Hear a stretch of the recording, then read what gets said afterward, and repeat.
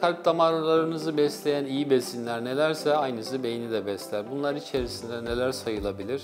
Birincisi özellikle esansiyel yağ asitleri. Esansiyel yağ asitleri dediğimiz zaman e, ilk akla gelen EFA ve DHA yani omega 3 türleri. Bunlar nasıl kalp damar hastalığına iyi geliyorsa beyin içinde elzem. Bunların elzem olması ve iyi olmasının sebebi şu.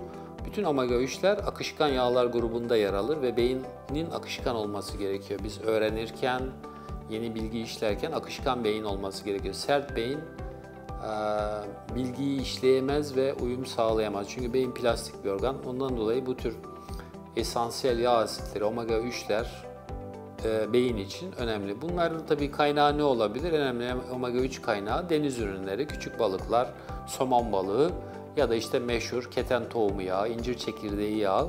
Bunlarda yüksek oranda omega 3 var. Onun dışında beden için iyi olan antioksidanlar. Bu nereden bulunabilir? Kırmızıdan kahverengiye doğru dönen meyveler. Bu dönüş sırasında ne kadar koyulaşırsalar o kadar antioksidanları artar. Antioksidan bedenimizdeki çalışması sırasında olan küfleri diyebileceğimiz atıkları temizleyen maddeler.